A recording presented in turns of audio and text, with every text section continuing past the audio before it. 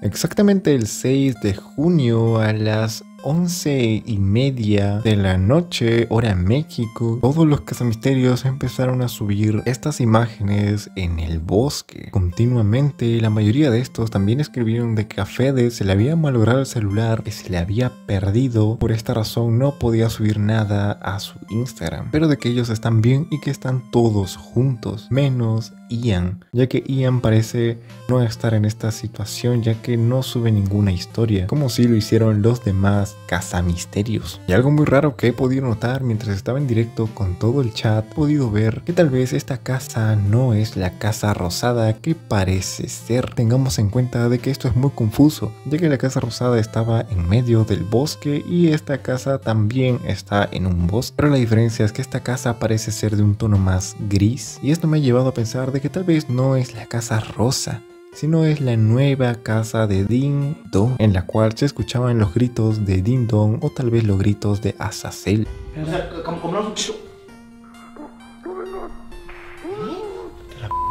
¿Te llegó eso? O sea, sí es una trampa, Fede. A huevo es una trampa.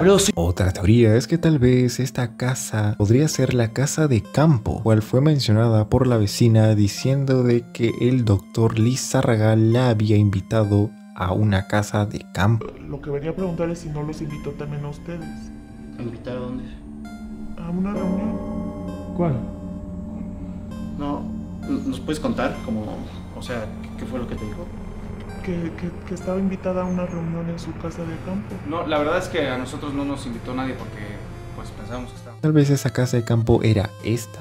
Una cosa que no viste es que en las historias de Iván, la imagen que sube atrás de este árbol o este tronco se puede ver a un traje tipo amarillo. Pero lo impactante es que este traje amarillo podría ser de Mini Mini, ya que como podemos ver este traje es muy alto ya que llega a cubrir todo el primer piso de la casa entera, midiendo tal vez más de 2 metros. ¿Y qué sabemos de Mini Mini? Pues su ropa está quemada, pues tendría mucho más sentido de que estuviera con una ropa o un traje distinto. Chat en el directo, pues que es un poco troll, me decía que veían un látigo en las historias de Boom. Y sí, pareciera ser que en estas dos ventanas, pareciera ser que en estas dos ventanas hay algo, pero podría ser cualquier cosa. No exactamente un lazo. Hay una cosa muy me ha dejado boquiabierto y es que hay cuentas que antes de que empiecen a subir los cazamisterios estas imágenes en el bosque,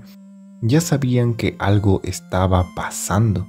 Por ejemplo, la cuenta de Instagram de Alfa Soldado DMD8 que tres horas antes subió, una hora antes de que todos los cazamisterios suban una historia en su Instagram estando en el bosque con el lema de que Fede perdió el celular, Alfa Soldado de MD8 ya sabía que algo estaba pasando. Muy raro.